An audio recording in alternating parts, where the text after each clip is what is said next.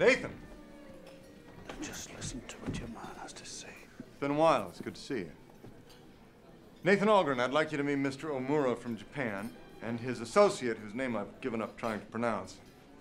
Sit down, please.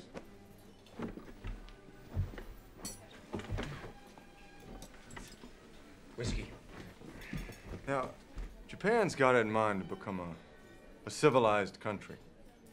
And Mr. Omura here is willing to spend what it takes to hire white experts to train their army. And if we play our cards right, the Emperor grants the U.S. exclusive rights to supply arms.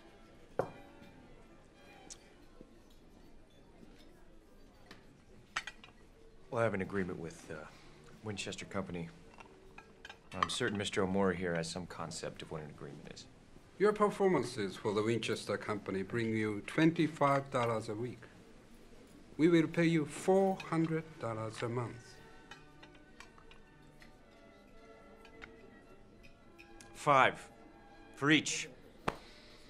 And another 500 when we get the job done. How many other genuine heroes you got lined up?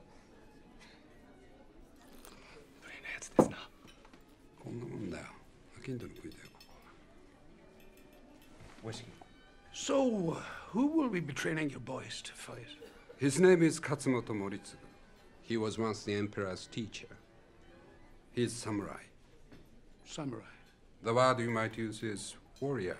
Mr. Omura is familiar with our experiences dealing with renegades. Is he?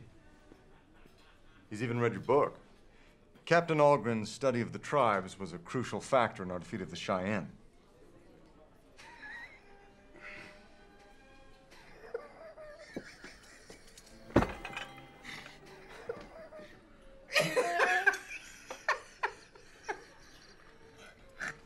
Please excuse. What is funny? The core back together again. It's just so. It's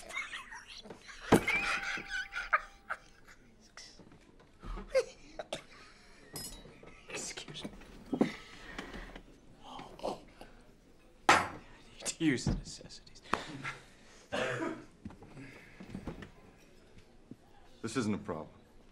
I'll just talk to him for a minute. Colonel Bagley, we contacted you because you are Captain Algren's superior officer, and you assured us of his participation. He'll do it. I just need a minute. Nathan. I did what I was ordered to do out there. And I have no remorse. So what do you say we put the past behind us? You want me to kill Japos?